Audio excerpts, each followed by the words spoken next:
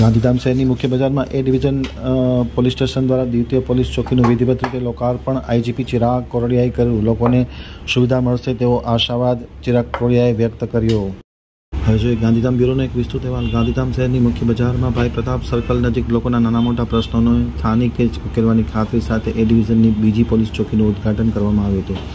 સરાદિયા દેના બડા ચિરા Korea એ ribbon કાપી અને આ પોલીસ ચોકી વિધિવત રીતે લોકો માટે ખોલી મૂકી હતી અને લોકોને કાયદોની વ્યવસ્થાની પરિસ્થિતિમાં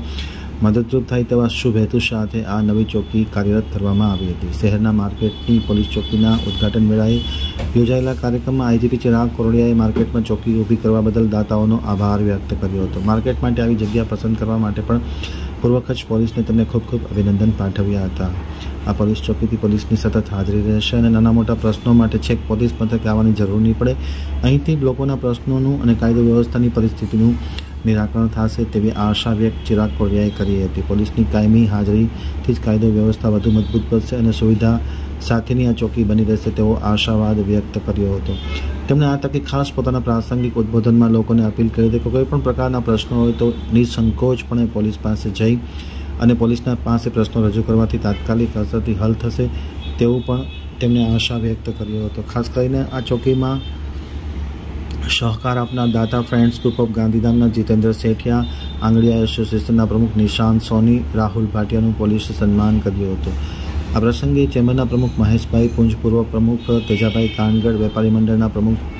રાજ ચાંદનાની તાલુકા પંચાયતના પ્રમુખ શાંતિબેન બાબરિયા સહિતના લોકો ખાસ ઉપસ્થિત રહ્યા હતા